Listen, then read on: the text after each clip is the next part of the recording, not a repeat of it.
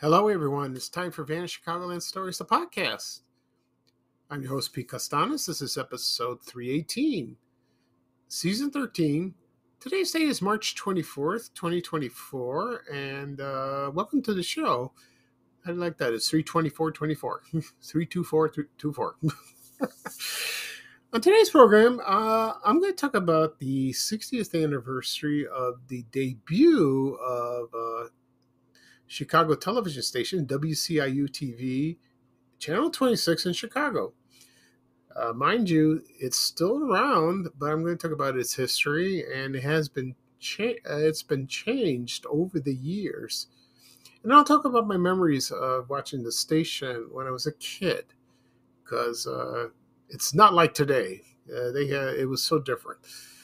Also, I will talk about uh, Falstaff beer talk about my memories of that beer, and uh, that would be interesting as well.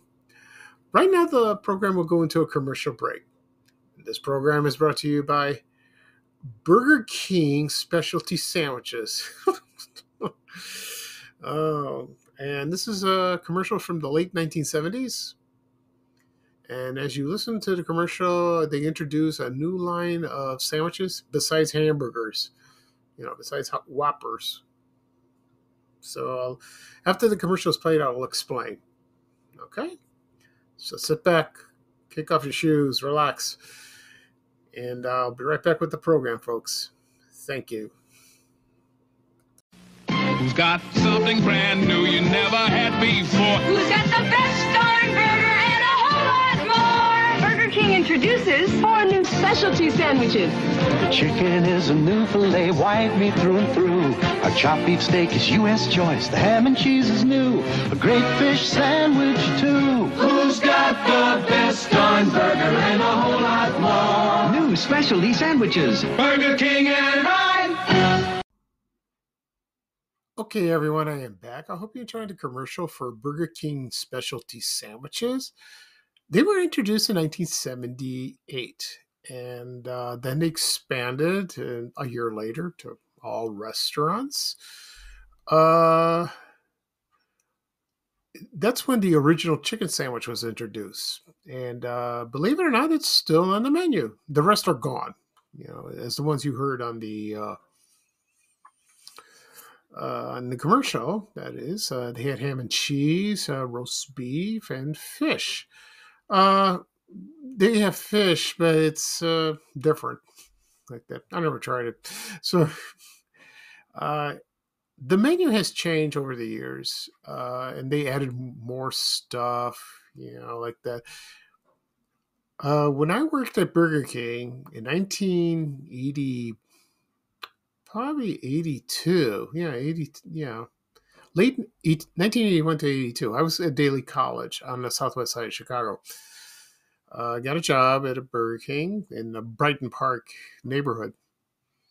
And, uh, you know, I worked part time. I went to school. Uh, that was a little tough, you know, back then. You know, I wasn't doing well in my studies. You know, I was just a little uh, aimless.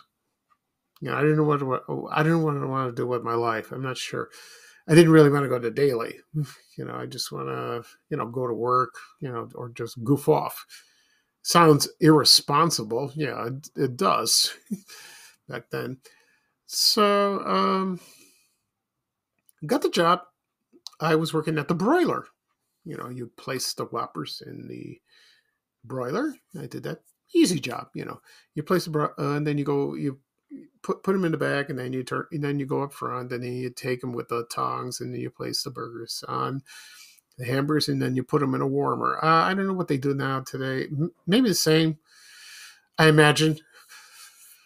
So, uh, besides that, I also made sandwiches. You know, we uh, now they come in boxes, or you know, but they didn't do that. First, they came and like you wrap them. They trained me to do that. Uh, you know, as sandwich making, I wasn't bad bad. You know, you have to remember you had to listen what the cashier was saying today they have them on the screen you know they have tv screens they should have had that but when i was there that would have been easier but now now you got to listen if you have good hearing because it's chaotic around lunchtime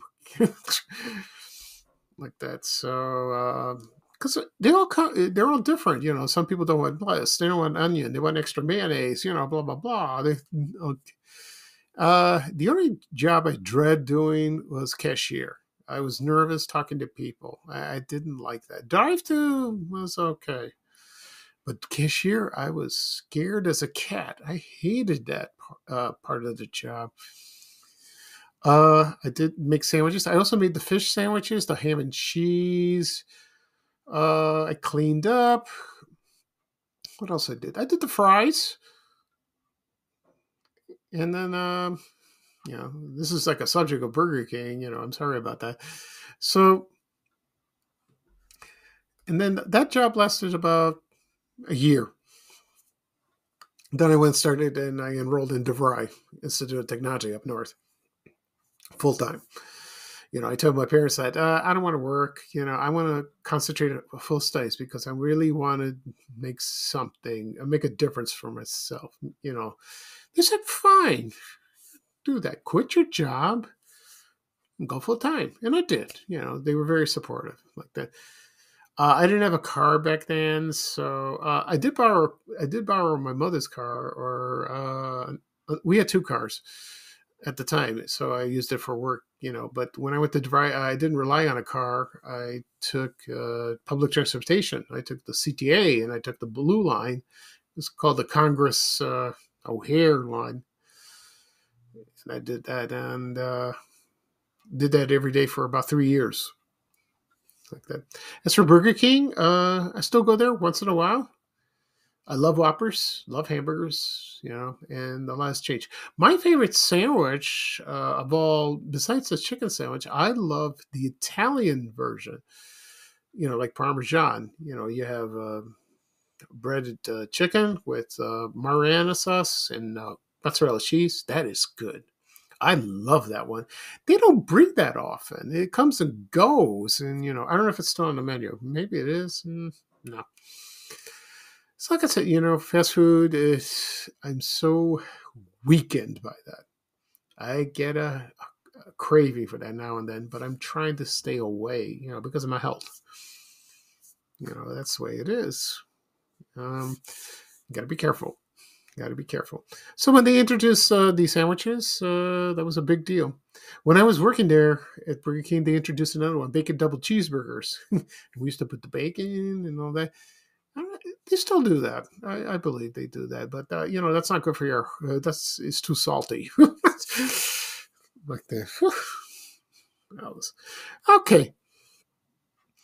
At the beginning of the program, I mentioned I'm going to talk about the 60th anniversary of the debut of WCIU TV Channel 26 in Chicago, and I will talk about Falstaff beer.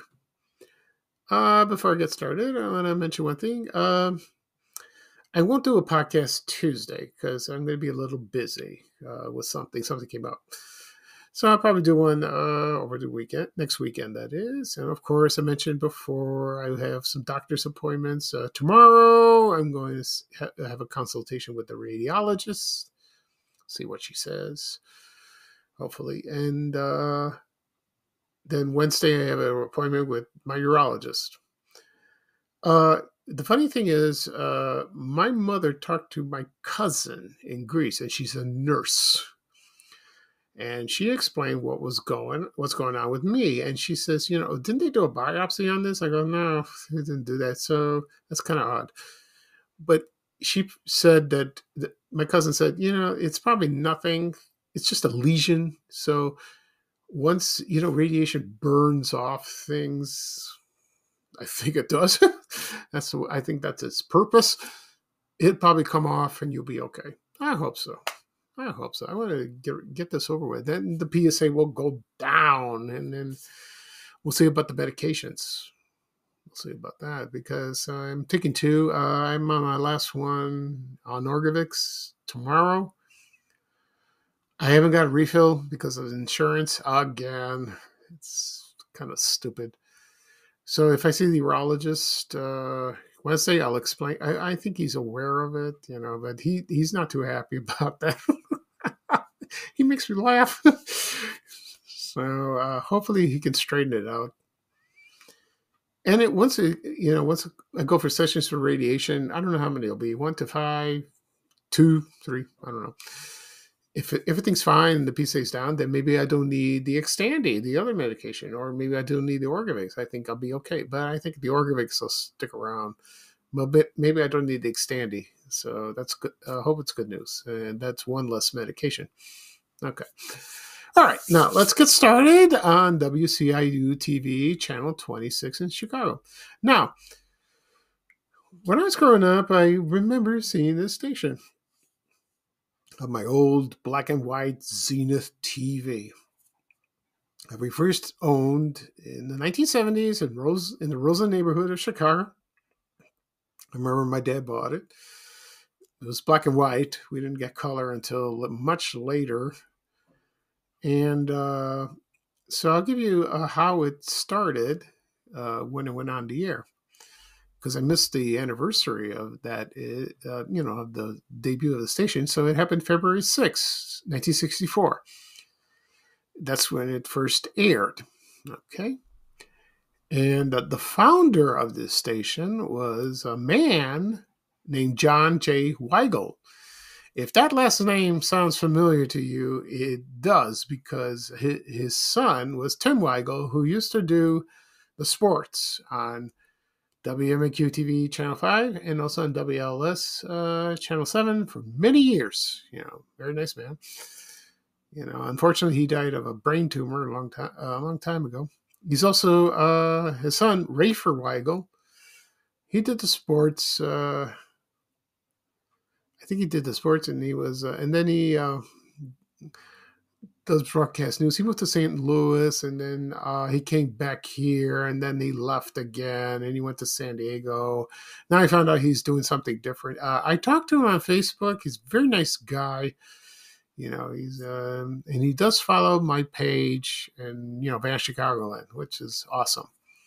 All right, so the station uh, they put multi ethnic entertainment you know, not much uh, like reruns or news, like new stuff. And uh, uh the people, uh, the uh, other people who had a minor interest were there was a businessman named Howard Shapiro and his brother Gene. They had they had an appliance store called CET. If you remember from the old commercials and they showed like on channel 9 or channel 32 it's like it stood for chicago engineers for television. You would rent tvs and they uh they took over the broadcasting about two years later 1966 okay? Uh the from 19 from all that time they had religious programs uh spanish uh language uh programs one of the uh, one of the programs that stood out was the Chicago uh, Chicago. Uh, it was a stock market observer. You know, it's that show where you see all the stocks on the bottom, you know, on the bottom of the screen, and you see all the the stock quotes, you know, going back and forth like that. You know, going left from right to left like that. I used to see that. I I don't know. I I don't know. I found that fascinating as a kid. Now it's a kind of dull. I remember Jack Taylor did that for a while, and it was uh, the studio was at the top floor of the Chicago Board of Trade building on West Jackson Boulevard. You know, and uh, one of the most controversial shows they had on the on the station was bullfighting from the Spanish International Network. Now, I don't know who decided that or, or why uh, this came to be. So I don't remember seeing it, but that's according to most people that follow Van Chicagoland. They they mentioned this in the comics. They used to watch that and they find it fascinating. But you know, bullfighting is a big a huge sport in Mexico and Spain. They they love it. They go crazy. It's like soccer in Europe and here football, of course, here. oh boy. You know, sports fans are passionate even back then. Also, they had another TV show, uh, which a lot of people are familiar. They had Kiddie a Go Go. Used to be on Channel 9, then they moved it to uh, Channel uh, 26. And is hosted by Elaine Mulqueen. You know, they had the puppets and they had a dance show. Remember her? And uh, also, the one, the most famous show that they had on was Soul Train. Yes, Soul Train, and it, it made it made its debut in 1970. Uh, the creator was Don Cornelius, if you remember. He was the host. He was an employee of the station, and uh, it was a big hit, a huge hit. They had dancing, you know. I remember watching it. It was like everyone looked like they had a good time. They're all doo doo doo doo doo like dancing like that. and uh, then it moved. I think it moved to Channel Nine later on. You know, and uh, so you know. And then uh, other memories of that station I had were like on Sundays. Uh, you know, they had. Uh, ethnic programming. Polish, Lithuanian, of course, Spanish. Uh, what else they had? Uh, also Greek, of course. You know they had a Greek program, and there was a uh, there was a Greek, there was a local Greek show called Hellenic Theater. I'm going to talk about that show Sunday because uh, a lot of Greeks have requested, please talk about Hellenic Theater. You know, talk about that, and I will someday. So uh, that aired from seven o'clock, I think seven to eight. You know, maybe I think they expanded to two hours. No, not really, an hour. That was hosted by a man. His name was Pop- Bobby Papadimas And uh, he would get on. He would smoke a big cigar, you know, introduce acts, and uh, do you know he had sponsors, you know. I'll talk about a little more about him one day, you know, because I find him fascinating. My mom started watching this show, and so do her friends, people from our church. The Greek community started watching this. The problem was we only had one television set at the time. so I couldn't watch anything, or my brother, you know, me and my brothers, we couldn't watch anything from seven to eight, which was a downer because they had some good programming on Sunday nights. That's until we moved to uh, to our house in 1974. We got the TV in the living room. My mom could watch that, and then I I would get my own TV. Eventually, we got a TV in the basement, so that we were free from that. You know, and then that that show lasted for a long time until I believe when Bobby Papademos died. You know, his children took over it, but uh, it wasn't very successful, and they yanked it they they also had Greek programming, and that lasted and lasted, you know, for a while. Believe it or not, my mom still watches a Greek program, but it's not on the on the U. It's not on channel twenty six. It's on channel sixty two every Sunday. So it's sort of the same thing, like that. And then, uh, then they had Spanish programming. Uh, there was one called Ayuda, Ayuda, something like that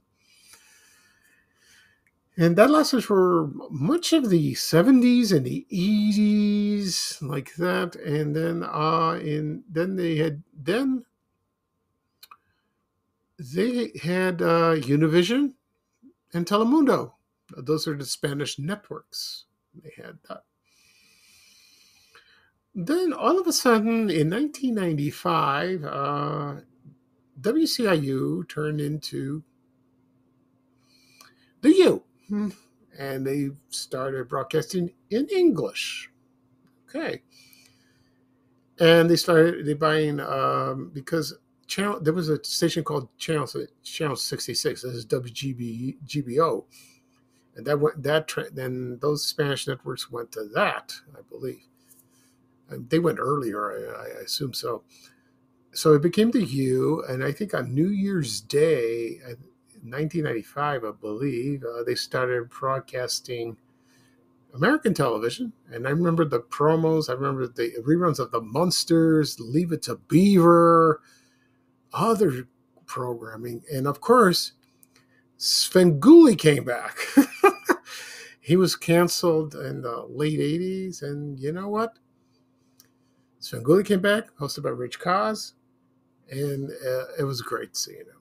Oh, it was wonderful. You know, he just uh, picked up and what he, he, he just picked up where he took off, and then he's still doing this today. But he's on MeTV, which I watch all the time, and he's hilarious and he's a nice man. He's also my friend on Facebook.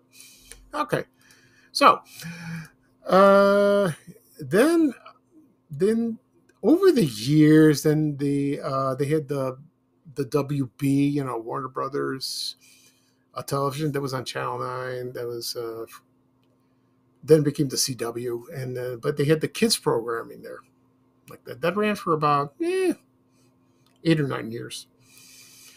Then programming got a little um, different, you know. And then, um, you know, right now it's not, they don't show reruns, not really. They show like court shows or reality shows, you know, kind of garbage t- TV.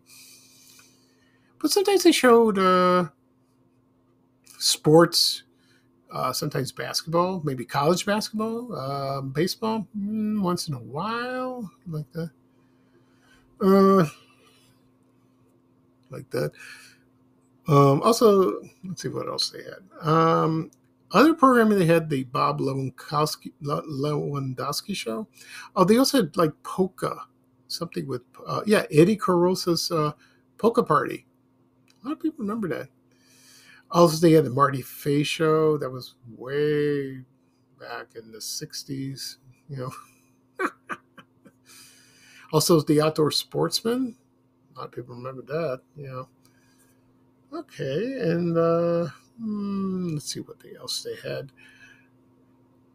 Also, you know, when you when it when when WCIU went first went on the air, you had to buy a converter box. You know, it, they didn't have TVs equipped with that station at first, so you had to buy a box. You know, convert just you know you've heard of that. You would connect to to your TV, and it's like you which You know, it's uh, UHF, VHF, you know, same thing with channel 32, channel 44, channel 20, you know, just like that. But later on, you didn't need it anymore. That, that was the end of that. Okay. Uh, for the program, you know, I found on in the Chicago Tribune the programming guide of what was on the first day they debuted on February 6, 1964. They only had two shows on. Excuse me.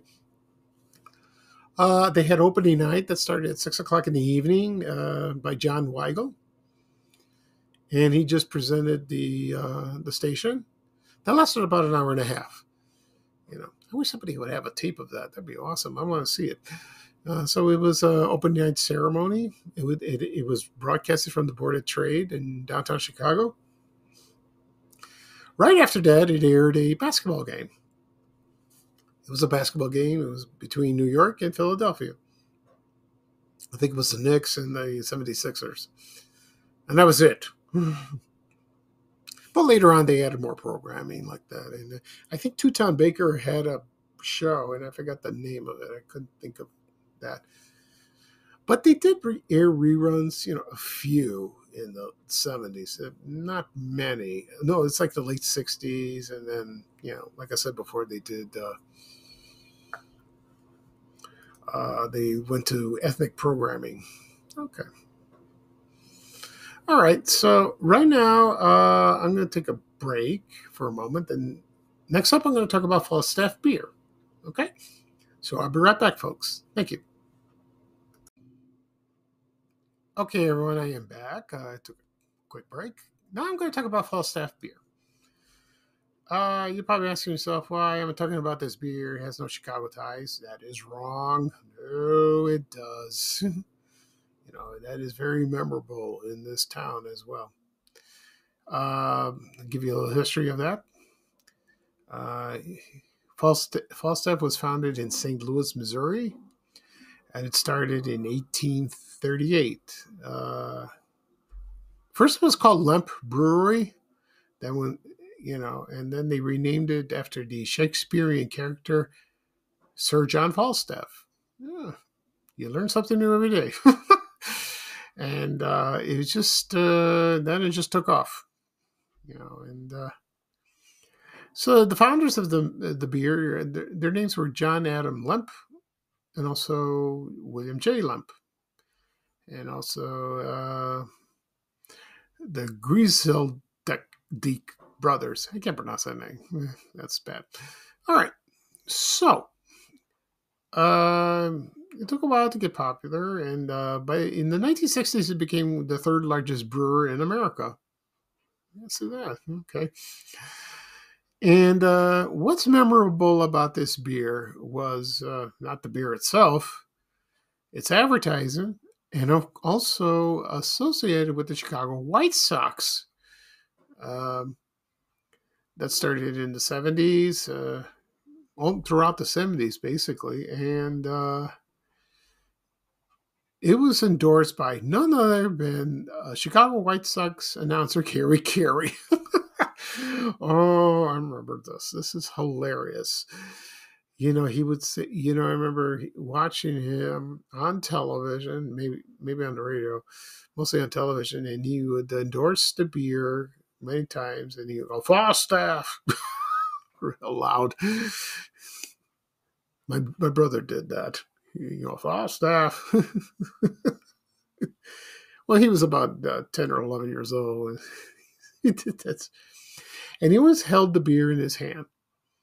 You know, in fact, he held a lot of beer in his hand, but it wasn't just Falstaff. No, it was just other other types of uh, other types of beer, brands of beer as well. I see pictures of him when he hold, held Schlitz. Meister Brau? Eh, maybe not. No, no. uh, so I remember the sponsor. It was a sponsor for the Chicago White Sox. First, it was on Channel 32. Then it's Channel 44. That's when the the Chicago White Sox, the rights of the airing of the games moved from 32 to Channel 44. And I remember, you know, Channel 44 was uh, kind of a small station, just like Channel 26, like I mentioned. And uh, they aired reruns of TV shows. They had local programming, they had Spanish programming. But this time they had baseball. And of course, hockey. They did that. Uh, I don't know if Falstaff sponsored the Chicago Blackhawks. Mm, I don't think so. I'm not sure. I think it's just baseball. Anyway, um, every, times where Harry Caray was shown on TV, and he would start singing "Take Me Out to the Ball Game," and he'd be holding a glass of beer or a can of beer. And uh, you know, you remembered most fans remember. Excuse me, most fans remember him seeing him. I'm sure he was drunk most of the time. I, I'm sure he was.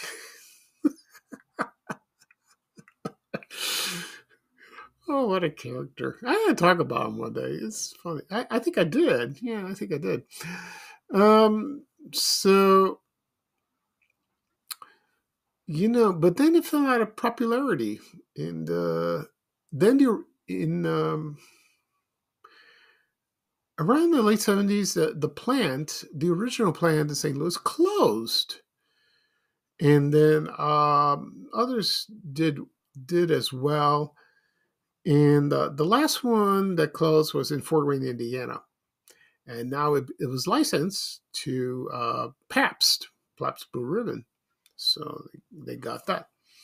Of course, Pabst Blue Ribbon, um, I don't know, they- they're from Milwaukee, I guess. So I guess they continued to do that. And then uh, they, believe it or not, Falstaff stopped around night, about yeah, 2005. Yeah, I didn't see it much, you know.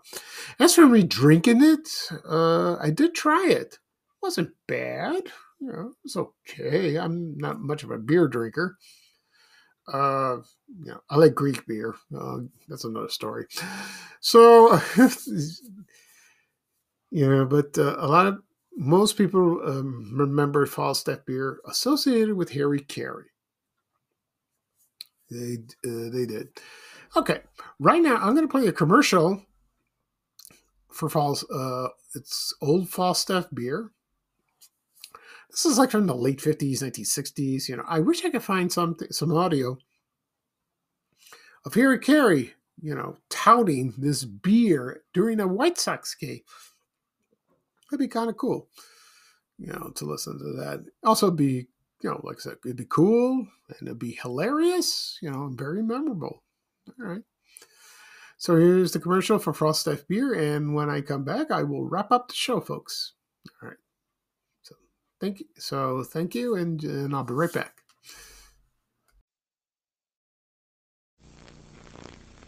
For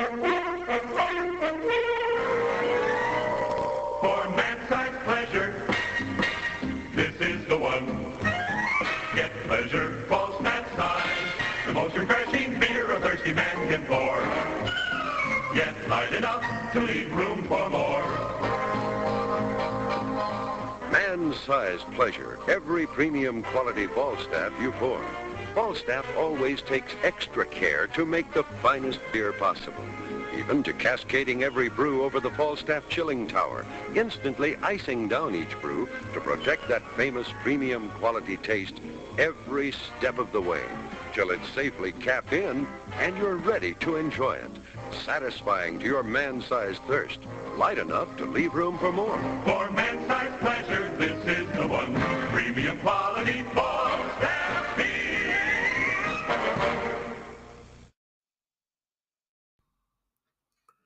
Okay, everyone, I'm back. I hope you enjoyed the commercial for Falstaff Beer. Eh, You know, like uh, it's like a man's beer. oh my god! Hmm, You know, it's that's how it was. You know, they advertised beer in the old days, like almost on a daily basis, all day long. You know, you had your the ones that we have now. You know, Budweiser, old style. Um, what else? And what and beer that's no longer in production. Stroh's, um, Michelob. I think Michelob's still on. Yeah, that's still on. Uh, Olympia beer, Old Milwaukee. Blatz, you know, Black Label, you know, you name it, like that. Stag. uh, the list goes on and on and on and on. You know, Löwenbräu, of course. okay. So uh, that's it for this program. I'll do a recap of what I talked about. I talked about the 60th anniversary of the debut of WCIU TV, Channel 26 in Chicago. And uh, of course, Falstaff Beer. And uh, this podcast will be published later on today, wherever podcasts are available. Uh, you know, on any apps, like for example, uh, Apple Podcasts, Google Podcasts, Spotify, Amazon Music, Breaker, Overcast. Uh, if you tap on those apps on your phone, your desktop, your iPad, you know, your tablet, uh, your laptop, you know, just uh, tap, listen in, uh, click follow to uh, get notifications of further episodes, or you like to listen to previous episodes as you wish. Also, be on my blog, chicagoland.blog. Can listen there. It'll take it's uh, you click on there, it'll take you a link to listen on Spotify. Also, it'll be published on my YouTube channel again.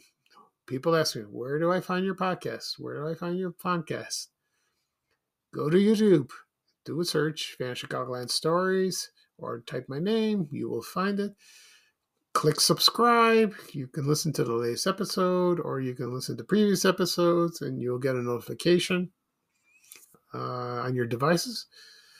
Also, uh, it'll be published uh, on my social media accounts. Uh, I'll have the link. I'll take you right there to the podcast. Uh, it'll be on Facebook, X, LinkedIn, Reddit, uh, Instagram, Blue Sky, Threads, and uh, I forgot what else. TikTok, of course. Okay, so uh, this is Pico Stanish, your host for Vanish Chicagoland Stories. Thank you for joining me. And uh, today is a little chilly on this Sunday. Yeah, on this Sunday. Uh, you know, you have to excuse me. I have a little head cold. Uh, I've been kind of achy and you know, kind of stuffed up. I just had some orange juice. You know, now I'm gonna make some hot tea. Just relax for the rest of the day. I'm just uh, a little worn out. I'm still tired. you know. I, want, I should be more energetic. You know, I want to be energetic, but uh, that's not the case. Okay, so here's bye bye for me, and here's Ray Rayner with a little traveling music saying bye bye bye. Take care, everyone, and so long. We have to go. Bye, bye, bye.